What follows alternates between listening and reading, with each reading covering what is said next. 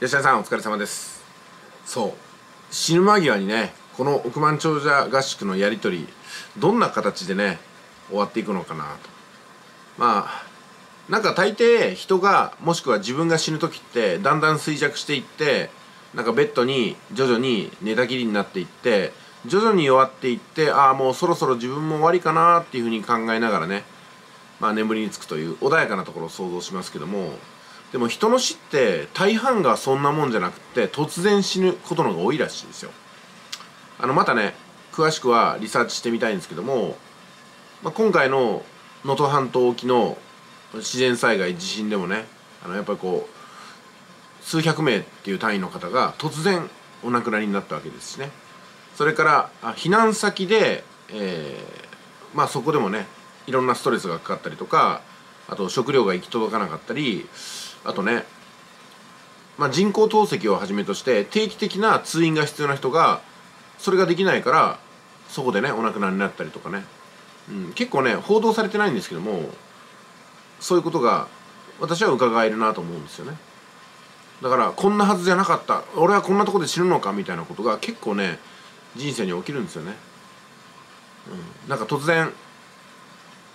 病になって突然まあね死んでしまうみたいなこともありますしもう何の準備もできてないし何の約束もないのに死んでしまうとか。まあ交通事故も相変わらず多いですしね、うん、まあそんな形で死っていうのは穏やかにっていうのはほとんどなくって大体がねやり残したこととか何かの途中でってことが多いです。人生を中断されるみたいなまあそのうちの一つが億万長者合宿をねもう無限に続けるっていう前提でやってますんで多分ああれも言えなかったこれも言えなかったこれもまだあるあれもあるみたいな感じで終わっていくんでしょうね。まあでも少なくとも私はねあのまあ車とかを例に出すとまあ50代が潮時かなと思ってますね。50代のどこかで趣味の車っていうのはどんどん手放していってね。でまあ小さな軽自動車ぐらいに落ち着いていくんだろうかなっていうとこです。だんだんこの車ももう自分はもうやったなと思うわけですよ、うん、そこそこね。うん。まあ、あの高級車をねそこまで求めていくような人間でもないですしあの新車に胸を躍らせるようなもんでもないですしあくまでもそのアクセサリーの一つとしてセルシオがあったりナイト2000があったりするだけですからね、うん、だからその手放す切なさっていうのもこれから私のところに訪れるのかなと思ったらそういった意味ではワクワクしますね。ああこれから俺はこれを手放すんだ。ああ全部が思い出になるんだ。つまり完結するってことなんですよ。一つのストーリーが。あの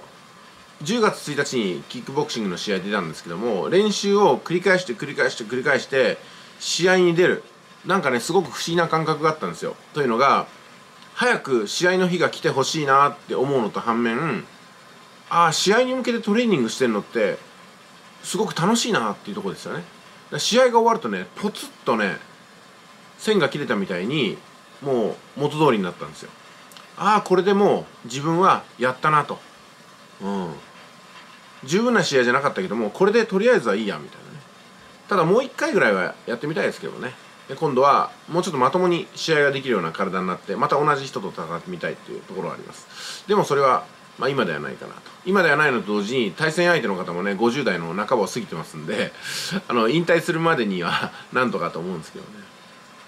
まあけど本当にね